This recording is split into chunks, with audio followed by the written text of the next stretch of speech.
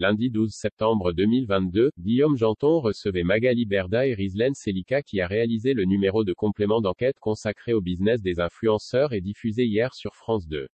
La confrontation dans le Morning sans filtre a été un peu houleuse, initialement programmée jeudi 8 septembre puis déprogrammée en raison de la mort de la reine Elisabeth II. Le numéro de complément d'enquête consacré au business des influenceurs est intitulé Arnaque et politique, le vrai business des influenceurs, a finalement été diffusé dimanche 11 septembre en deuxième partie de soirée. Bien décidés à faire la lumière sur ce phénomène générationnel, les journalistes de France 2 ont été à la rencontre de Magali Berda, patronne de la plus grande agence qui emploie des candidats de télé-réalité, mais l'entretien ne s'est pas vraiment passé comme prévu pour la compagne de Stéphane Teboul qui a accusé la production d'avoir cherché à la piéger.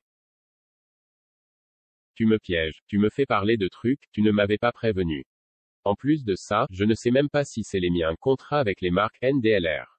J'ai répondu, je n'ai pas pu vérifier si ça venait de chez moi. Déjà, je voudrais que cette séquence-là n'apparaisse pas. Je ne veux pas me sentir piégé dans le sens où je n'ai pas les éléments de réponse, a-t-elle réagi.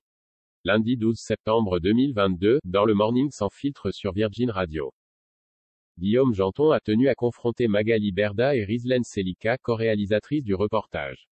Moi je n'ai pas le sentiment d'avoir piégé Magali parce que j'ai toujours agi en transparence, a confié cette dernière.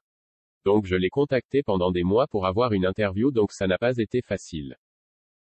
Je savais que j'allais avoir Magali Berda dans ce film. Pour moi c'était important, on ne peut pas faire un film sur l'influence si on n'a pas Magali Berda, a-t-elle indiqué.